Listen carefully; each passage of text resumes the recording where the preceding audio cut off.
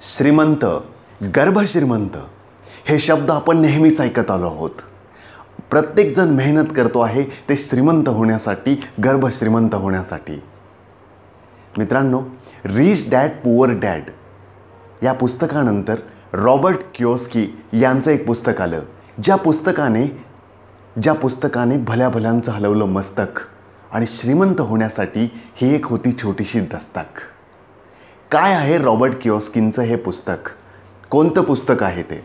तर त्या पुस्तकाचं नाव आहे rich dad's cash flow quadrant Robert Kiyosaki यांनी या पुस्तकामध्ये असा एक कॅश फ्लोचा कॉड्रंट सांगितला आहे की ज्या कॉड्रंटमध्ये आपण प्रत्येकजण आहोत. प्रत्येकजण एका टप्प्यावरती आहोत. काय आहे हा कॉड्रंट हे आपण आता बघूया. E S B I. E S B I हा जो कॉड्रंट आहे या कॉड्रंटमध्ये आपण प्रत्येकजण आहोत. आपलं स्थान काय आहे? आपण आपलं स्थान बदलवू शकतो का?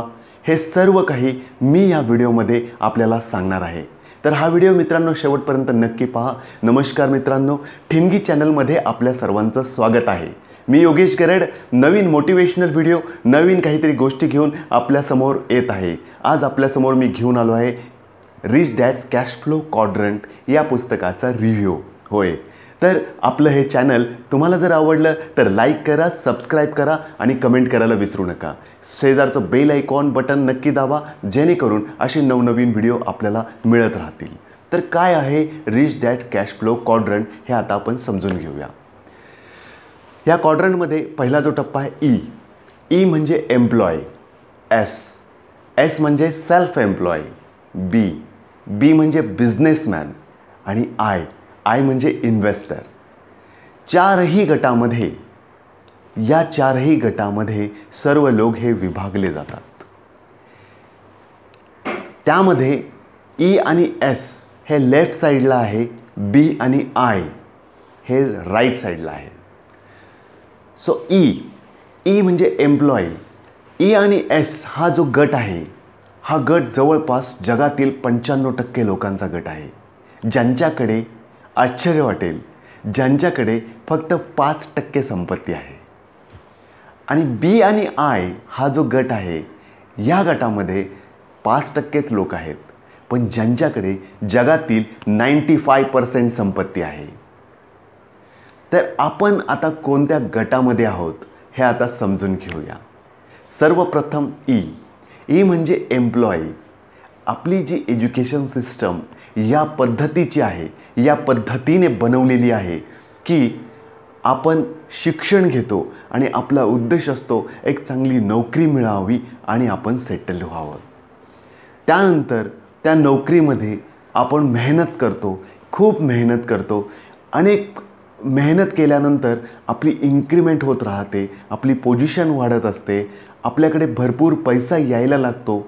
दुप्पट तिप्पट चौपट दहा पटीनं पैसा यायला लागतो. दहा पटीनं पैसा आल्यानंतर आपली लाईफस्टाईल चेंज होते.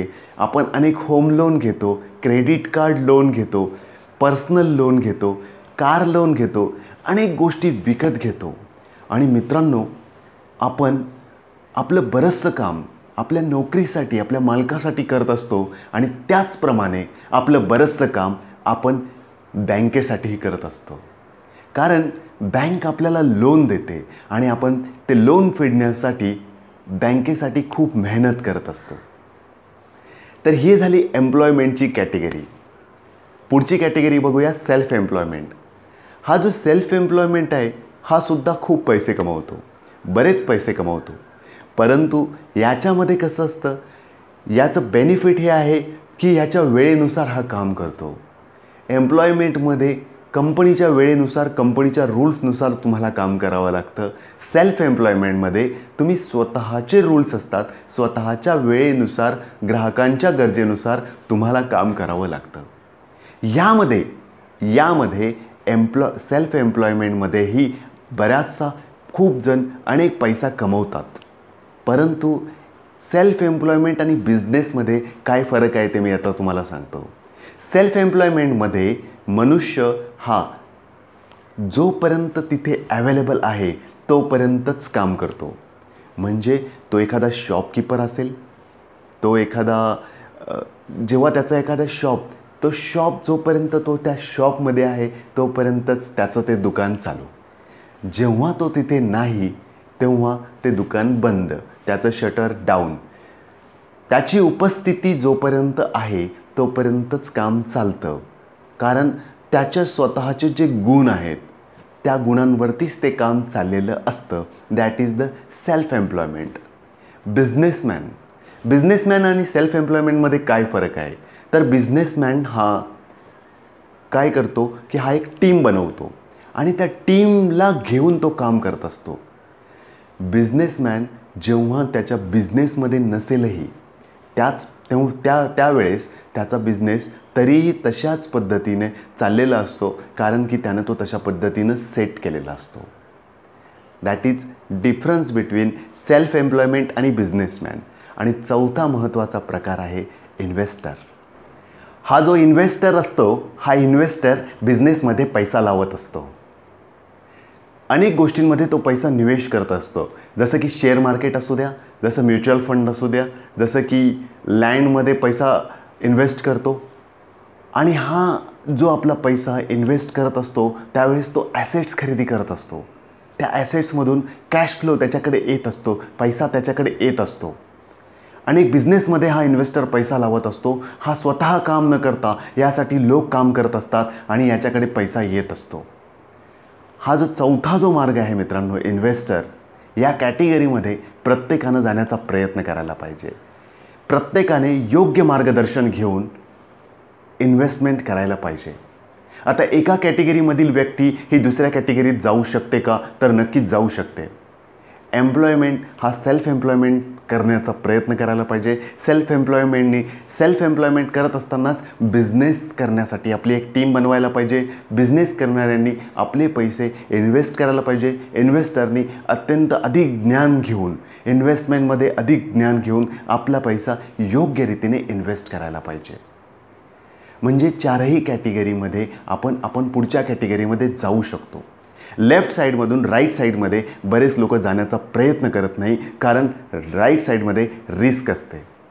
लेफ्ट साईडमध्ये ते सेक्युरिटी शोधत असतात आणि सेक्युरिटी शोधत असताना येणारे बेनिफिट्स सेक्युरिटी या गोष्टींवरती लेफ्ट साईडकडे असणाऱ्या लोकांचं लक्ष असतं.